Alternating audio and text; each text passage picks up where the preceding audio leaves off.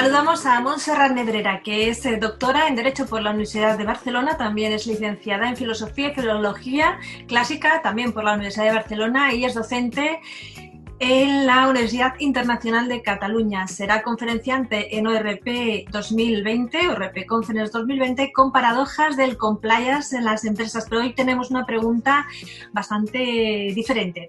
Eh, Monserrat, ha habido escándalos en estos días, en esta crisis sanitaria, como el caso de la banca seguros. Ha habido un caso denunciado en redes sociales que llevó a la patronal de la banca a emitir un comunicado atribuyendo la práctica denunciada a un error humano. ¿Fue a su juicio un ejercicio de transparencia? Usted que es también conferenciante en temas de liderazgo y transparencia, en menos de un minuto. Ojalá hubiera sido eh, el comunicado de la banca un ejercicio de transparencia.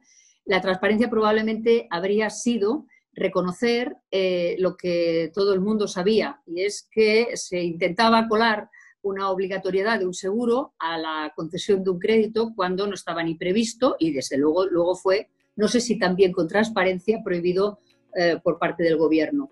la transparencia habría sido reconocer eh, una praxis que probablemente intentaba significar algún tipo de beneficio, la banca existe para, generar beneficio, y probablemente en ese caso, más que de un error, habría sido eh, ejercicio de transparencia decir lo contrario, decir que habían pensado que podían hacerlo y que no se podía.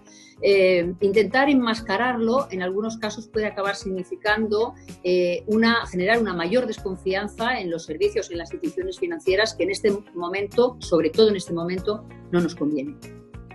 Pues muchísimas gracias por su respuesta, Montserrat. Nos vemos en ORP Conference 2020. Hasta entonces.